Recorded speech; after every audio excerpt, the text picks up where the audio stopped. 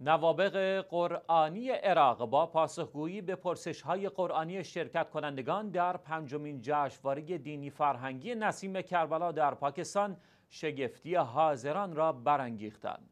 این دو نابغه قرآنی شیعه که حسین عبدالرضای 19 ساله و سیف مصطفی لطیف 11 ساله نام دارند دو تن از حافظان کل قرآن عراق هستند که با حضور در پنجمین جشنواره دینی فرهنگی نسیم کربلا در شهر اسلام آباد با مهارت و تسلط کامل به همه پرسش های قرآنی هزار پاسخ گفتند.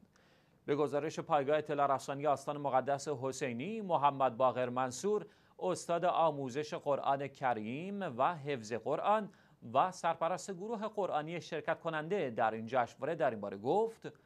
بخش از این جشنواره به مهارت‌های حفظ قرآن دو تن از حافظان عراقی اختصاص داده شد که در این بخش اساتید و حضار پاکستانی حاضر در جشنواره سوالات متعددی را از بخش‌های مختلف قرآن از جمله آیات، سوره ها و صفحات آن از این دو حافظ نوجوان پرسیدند که سرعت آنها در پاسخگویی به سوالات موجب حیرت حاضران شد. و افزود این برنامه با حضور سفیر عراق در پاکستان و شماری از شخصیت‌های دینی و رسمی برگزار شد.